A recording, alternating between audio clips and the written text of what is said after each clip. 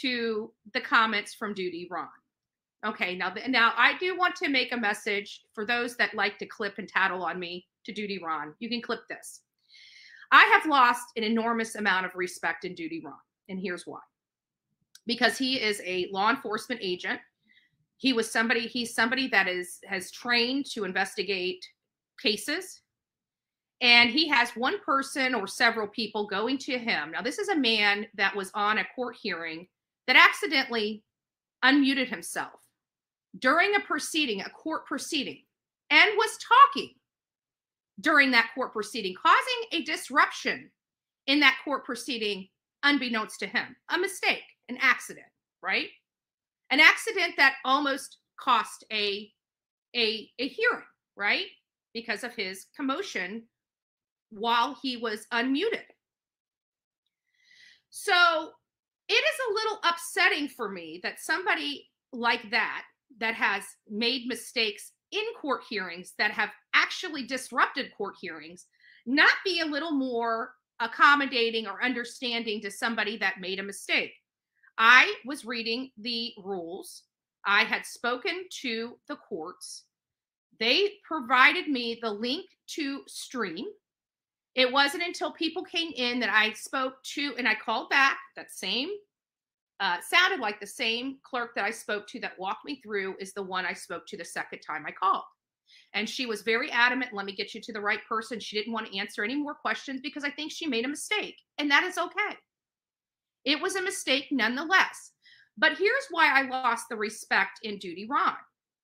It is because he chose not to look into the matter before he opened his mouth. That is a major no no for law enforcement. When you have somebody um, working a case for you, when you have somebody investigating a case, one thing you do not want from a law enforcement officer is them jumping the gun or making conclusions based on conjecture or tattletaling, right?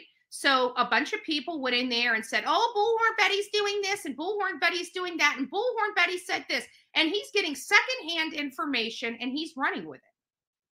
This is somebody that we trust not to do that in all fairness.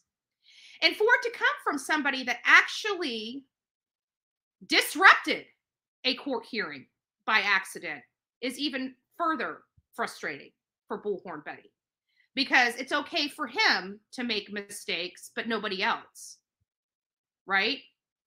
So, Duty Ron, maybe pull some of that earwax out of your ear uh, and maybe do some investigation before you decide to slander somebody on your live in front of thousands of people. Wait for my cease and desist. It will be coming. Um, just because you didn't say my name doesn't mean you didn't imply me, doesn't mean you didn't attach me to those statements. And that's very bad for you.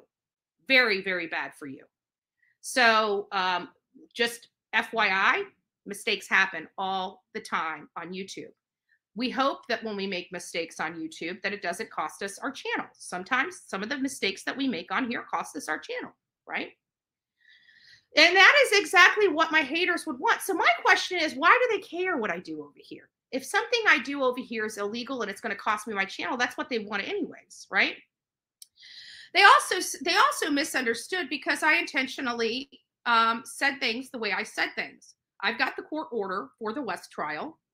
And I plan on doing live coverage of the West trial. They went all over YouTube saying that I'm going to run the West trial live.